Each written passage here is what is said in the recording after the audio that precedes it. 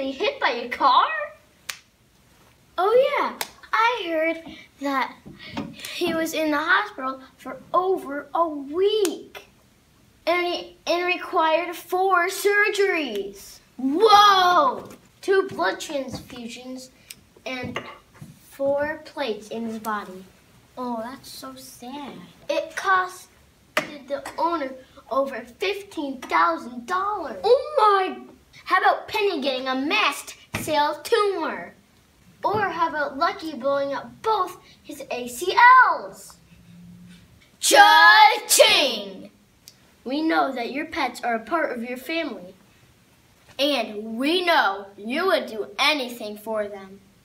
We want to talk to you today about a rapidly growing industry of pet insurance. We can't tell you about every company. We really don't have that much time. Uh-uh, not at all. But we can tell you that pet insurance is becoming more affordable and great to have for pet emergencies. A lot of plans to help fit your needs or what you might be looking for for your pet. Some of the insurance companies we recommend include Embrace. This company has been around for a long time and gives you a lot of variety in plan options. Nationwide, which used to be VPI, is a very good pet insurance company with a variety of plan options. And FIGO. This is one of the newest companies, but we are excited about this company. This is because they are very technology friendly. Yeah, you can just take a picture of your bill and they handle the rest.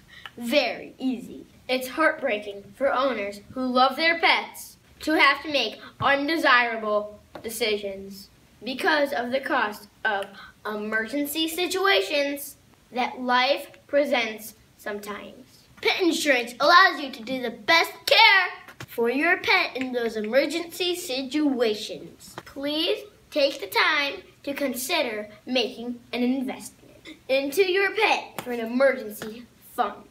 And talk with your vet about pet insurance options. We are the Vet Bros, and we are committed to keeping